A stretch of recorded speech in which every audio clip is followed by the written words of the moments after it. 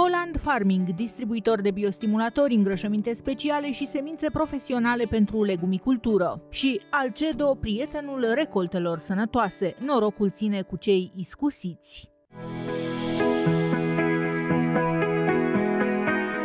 Ioan Jula face pomicultură de peste patru decenii. A cunoscut gloria livezilor de altă dată din Transilvania, dar și succesul antreprenoriatului onest, clădit pe muncă și sacrificii. A reușit să aibă propria livadă în care să cultive doar soiurile pe care le consideră potrivite. Nu forțează producția și, la final, chiar dacă producțiile nu sunt maxime, fructele îl mulțumesc prin calitate.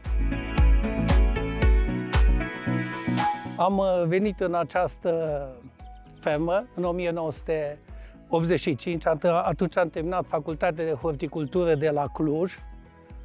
Am stat un an uh, jumate inginer stagiar.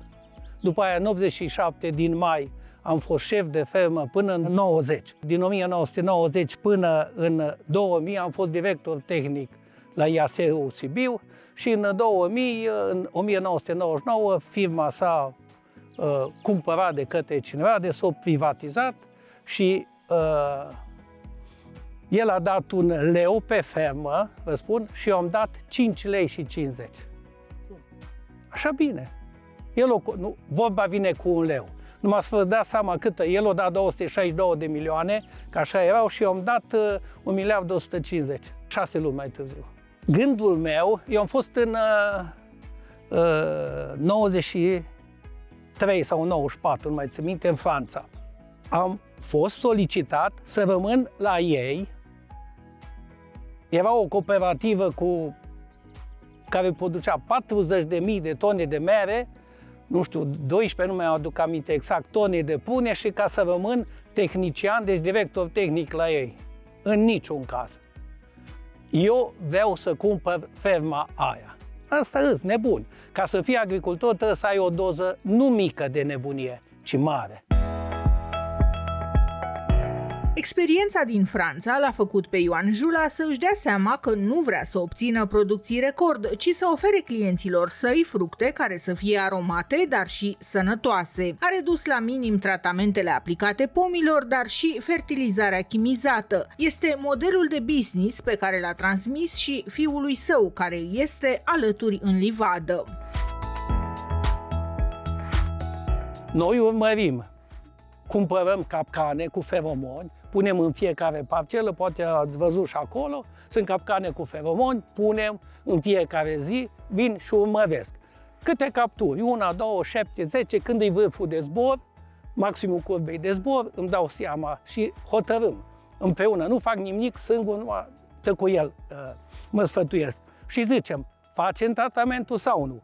Avem foarte multe fructe. Mă, dacă din multe și așa pe multe atacă și dăunează 2%, nu are nimică.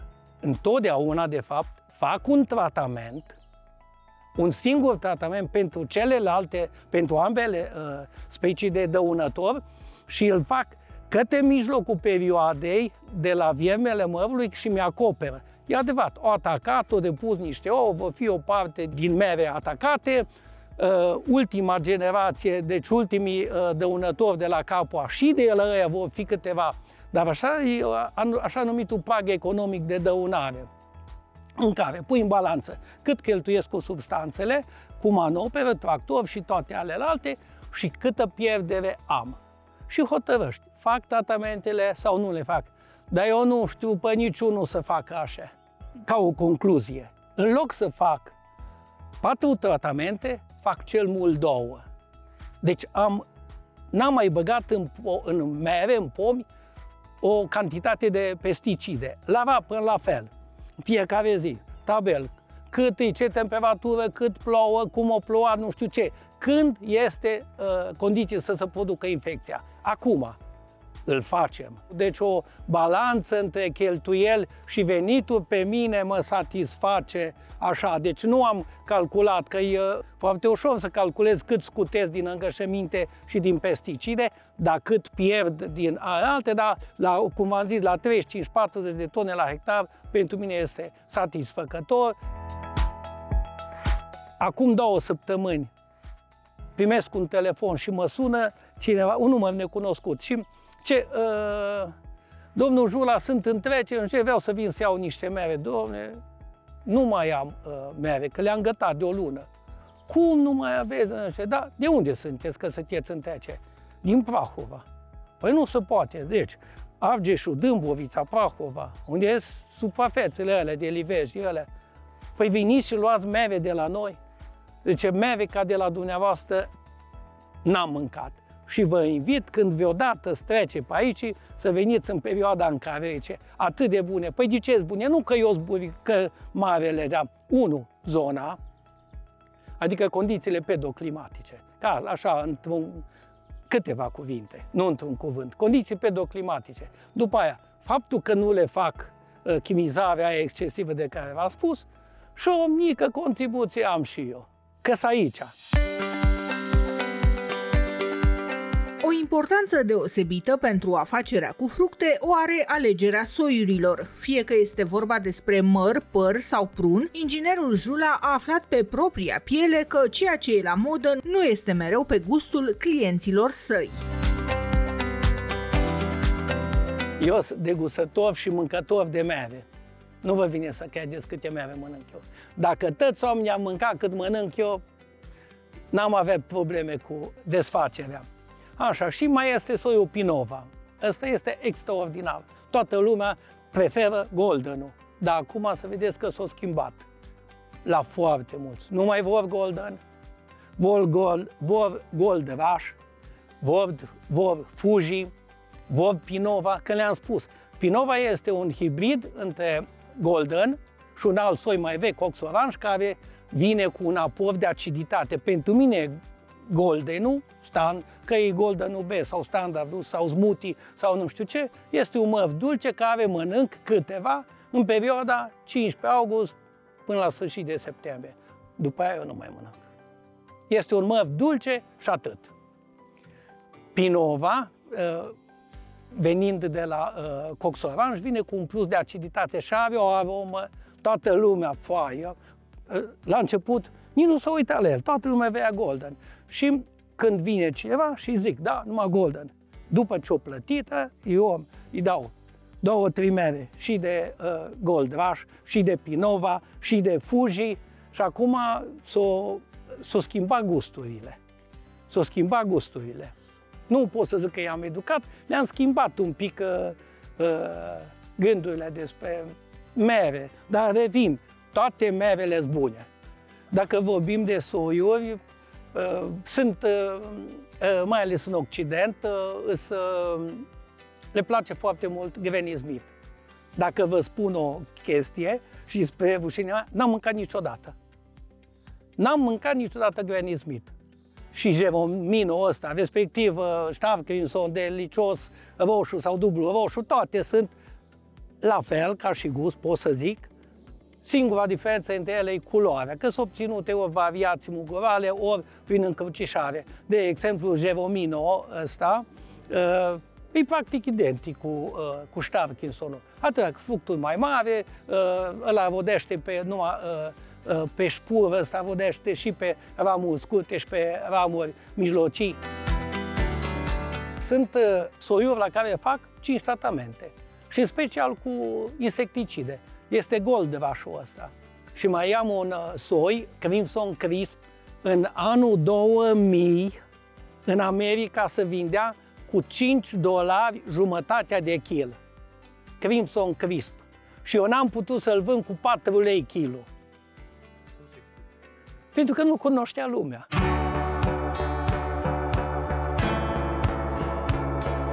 Suprafața totală, v-am zis, care uh, o am uh, avendată a societății Prodfruct, 74 de hectare, dintre care, nu credeți, nu toate le lucrăm. Avem uh, 10 hectare de măr super intensiv, cu 2800 și ceva de, la, uh, de pom la hectar, un hectar de păr tot sub, super intensiv, cu 3333 de pom la hectar, și un hectar de coacăz cu 5.000 de plante uh, la hectar, coacăz negru. Un hectar și 60 de are Asta, uh, livada asta e făcută prin fonduri europene, demarat, în depus proiectul 2017, în 2020 am uh, plantat-o și mai am un hectar 60 de ari uh, de uh, măr în anul 7, două hectare de pun de 16 ani și un hectar 30 uh, de uh, cireș plantat anul uh, trecut, care deja intră pe rod. Păr. De ce am pus păr? Știu că e o specie foarte pretențioasă și are multe hibe, adică hibe, are o boală, focul bacterian, și nu este soi. Poate va fi ceva soi care este imun, dar sunt tolerante și am ales cât de cât soiuri tolerante uh, de păr și avea un dăunător care toate se țin foarte greu în mână și cu cheltuială. De aia n-am pus mai mult, un hectar și ziceam să vedem cum merge primii ani. Și acum să vrem să depunem iar un proiect în care mai plantăm 3 hectare de păr, că vede, am văzut că le ducem cum trebuie și doi, prețul cu care vinzi pe, la aceeași producție obții la hectar, prețul e dublu. Și dacă faci uh, o cheltuială cu 5, la, nu mai 10% mai multe ca și la măr, dar nu-i tot una să vinzi cu 2 lei, cum a uh, vândut anul trecut, cu tot cu TVA sau cu 4. Și de ce automat și veniturile sunt uh, mai mari. Avem în cultură patru soiuri de păr.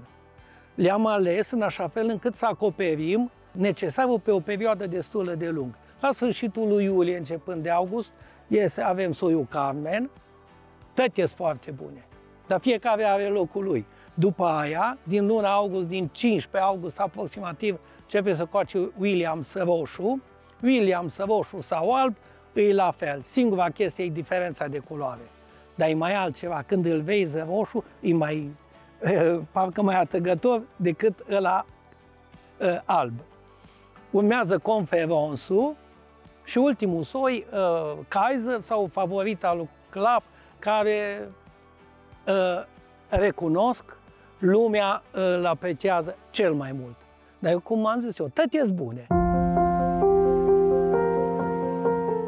Proiect pe fonduri europene pentru înființarea 12 hectare de livadă nouă, plantația din județul Sibiu a investit 600.000 de euro în sistem intensiv, menit să crească productivitatea printr-o densitate mai mare de pomi. A fost inclus la plantare și coacăzul, pe care inginerul Jula l-a văzut ca o oportunitate la procesare.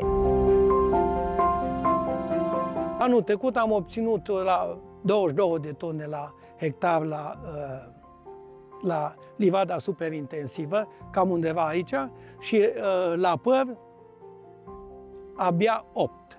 De ce? În timpul înfloritului a fost rece, nu zburat, deși trebuia să obținem tot câte 20 de tone. Nu zburat albinele și producția a fost foarte, uh, foarte slabă. Deci 8 tone pentru 3333 de pom la hectar e foarte puțin versus mă, unde am obținut uh, 20 de tone. Am înflorit, înfloresc un pic mai târziu, cu cam o săptămână. Coacăzul, hectarul ăla de coacăz, l-am pus, uh, deci uh, o densitate 4 pe 0,5, deci 5.000 de plante la hectar. Am pus două soiuri cu coacere eșalonată, tocmai în ideea ca să le putem uh, uh, recolta, să avem timp să le recoltăm, să nu, nu ne trebuiască foarte mulți oameni deodată. L-am pus în ideea, noi producem suc de măr.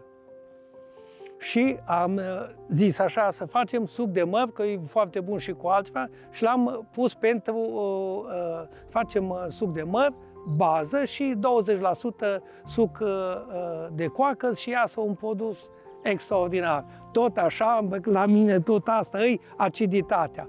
Mărul are, este, are aciditatea care are, vine uh, coacăzul cu gustul lui specific și cu uh, un aport de aciditate, deci e foarte bun. Deci uh, mai plăcut decât uh, pe, poate, pentru a, poate pentru copii nu, dar cred că pentru adulți, da, mult mai plăcut decât uh, și uh, undeva la 5 tone uh, la hectar, dar vine fructe proaspete și uh, am făcut vreo 4.000 de kg de litri de must, de măr cu coacăz.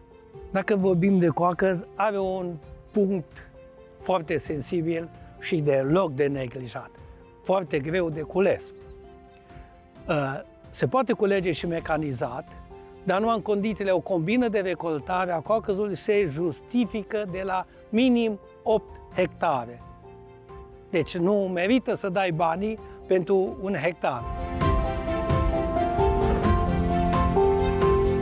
Deși la carte se spune că o livadă intensivă are producție timp de 15 ani, inginerul Ioan Jula este convins că pomii săi vor rodi cel puțin 25 de ani. Secretul din spatele fructelor cu gust stă în mâinile inginerului pomicultor, singurul care poate face diferența între o afacere care doar își scoate investiția și o plantație profitabilă pe termen lung, o livadă de familie.